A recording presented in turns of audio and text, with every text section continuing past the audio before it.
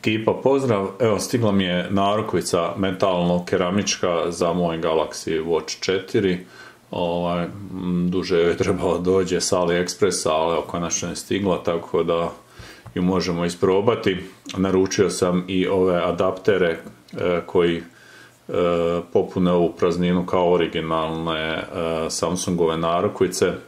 Inače, sama narukvica je 20 mm, ali ne paše u ove, to jest možete ju staviti, ali onako zapinje, jer ove su savijene prema unutra na satu, znači držači gdje ide iglica. Tako da sam naručio i ove adaptere, oni koštaju neka 2-3 eura, a narukvica je 11 eura. Brzo ima otkopčavanje ovako, Kažu da je nehrđajući čelik, kombinacija nehrđajućeg čelika i ovo crno su kao keramika.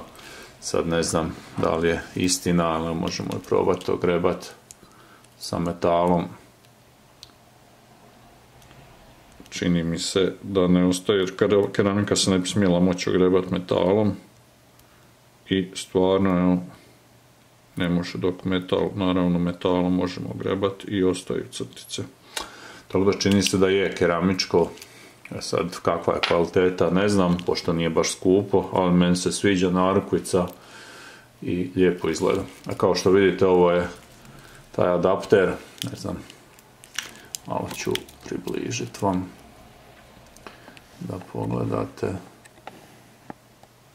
Znači ovdje možete vidjeti dvije iglice, znači ovo je jedna iglica koja drži adapter za sat, a ova narukvica, onda standardna 20 mm ide u ovaj dio ovdje.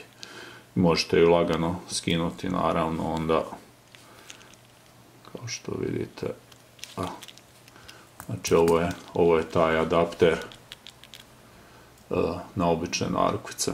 On ima ravne ove ruke na koje ide iglica Tako da onda ako kupite te adaptere, možete bilo koju 20 mm narukvicu staviti i imate puno veći izbor nego da sad baš kupujete narukvice za Galaxy Watch 4. Narukvicu naravno lako vratite, možete i pomoći one ručice, ali evo lakše pošto se narukvica ne može rastaviti, vratite ju lagano na ovaj a samo malo ako imate malo duži nokat možete i s njim, ne morate, aj sam da potrefimo rupicu evo tu je iglica i super stoji, znači narekvicu stavljamo na ruku ovako jedan po jedan dio, ovako se stavlja. Ja sam ju skratio na svoju dužinu, evo ovako sam, s oba dvije strane sam skinio s jedne tri, iz druge dvije alkice.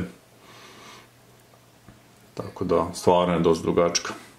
Imam ovaj alat za skidanje, ali ono možete s bilo čim čvrstim. Evo igla. Znači s njom ispijem ovu. Znači ovako stavimo i ispijemo ju van kao što vidite onda možete rastaviti i skratiti. E, to je to. Ako imate kakvih pitanja, pitajte ispod videa ili ispod članka na blogu. odgovorit ću ako znam. Pretplatite se na moj YouTube kanal, pratite me na Facebooku. Hvala i pozdrav!